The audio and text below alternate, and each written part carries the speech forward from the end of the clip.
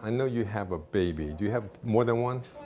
You have, oh yeah, that's twins. Well, you must really enjoy being at work. Yeah, I love it. Yeah.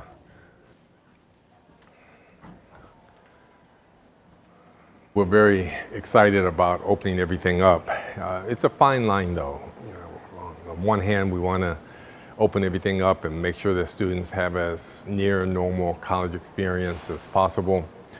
But we also want to be as safe as possible. So about 60% of our classes will be, at least a component of it will be in person, if not the total class, and about 40% online.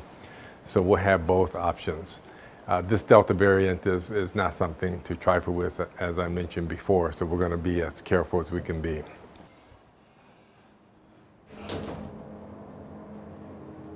One of the things that we decided to do was to uh, mandate a vaccine if uh, you're going to be on campus at all.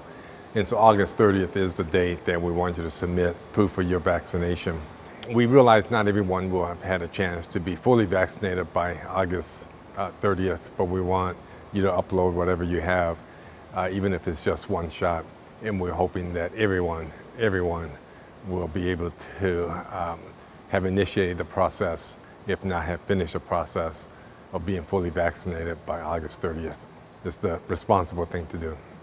I've been seeing uh, more and more students on campus, uh, but it's going to be really exciting when students actually move in for the fall semester on August 27th.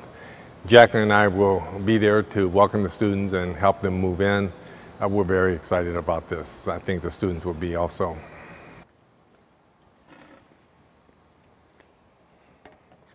We're very excited about the entire campus uh, being open. You know, one thing I do want to mention uh, about the uh, vaccine is that uh, I, I, do want to give a shout out to the um, football team. Uh, several weeks ago, I heard that the entire football team has been vaccinated. That, that's huge. That's, I just, um, so proud of our young guys who have all decided to get vaccinated you know, they're role models to a bunch of other uh, kids out in the community, uh, high school football players and, and other athletes. And to see 100% of our football players vaccinated, I think it's going to mean a lot, not only for our Wayne State community, but for the larger community. So congratulations to the football team. Yeah, the first thing I just want to make sure everybody understands is that our public health committee is still uh, meeting on a weekly basis. And they review all of the data, both local, regional, as well as uh, national, and in fact, uh, global data all the time.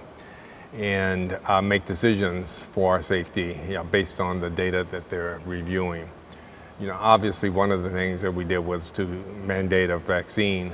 Uh, if you're going to be visiting our campus, we think that is the, the right thing to do. And you know, I, I have seen uh, models that suggest that the peak of this current uh, pandemic uh, might actually be ahead of us by, in about two or three weeks. If that's the case, then um, being fully vaccinated, as many people being fully vaccinated, is going to be, make a big difference in, in how big that peak uh, eventually is.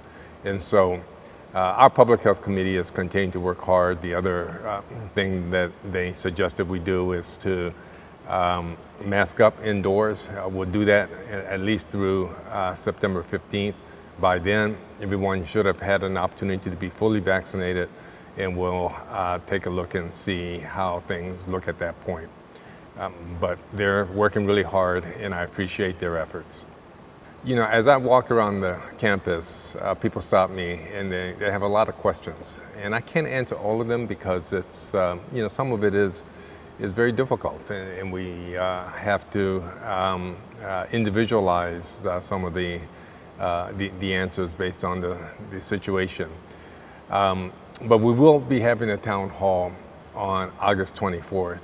So please, if you have any questions, uh, write them down, submit them, uh, that'll give us time to really think about some of these questions. But some of these are, are, are really hard questions and they're, they're one-offs more or less and, and we have to really think about them and uh, we want to be able to answer as many questions as we possibly can on August 24th. So uh, please participate and uh, submit your questions.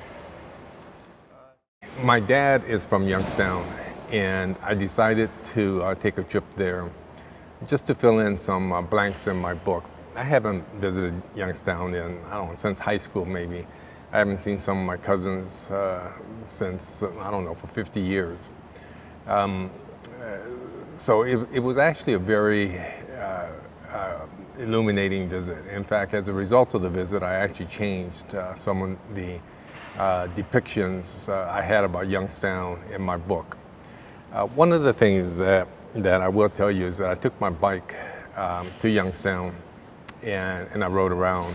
And one of the places I, I rode through was uh, Youngstown State University.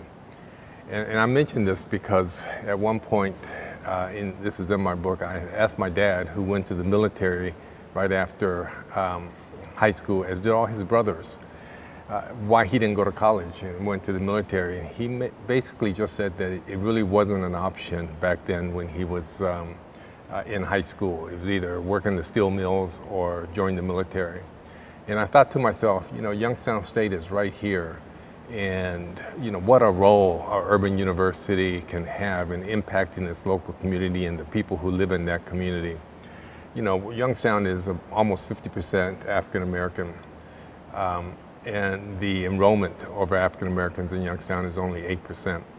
Um, I, I, I, say this only because it's not just the issue of African American. The, the, enrollment of people from Youngstown in uh, Youngstown State is not as high as I would have expected.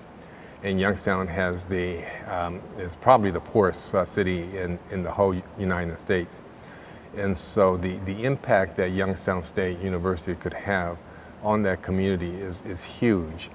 And, and I mention this because uh, I'm just really proud of the impact that Wayne State has on, its local community. And, and, and, I just want to thank the uh, faculty and staff of Wayne State for everything that they do in impacting Detroit. I've spoken enough about, uh, about the book and, and I want to keep the focus on the uh, pandemic as much as possible. So uh, we'll uh, continue this on a, on a regular basis and I hope that we're able to provide the kind of answers that will be helpful to you in uh, enjoying your college experience.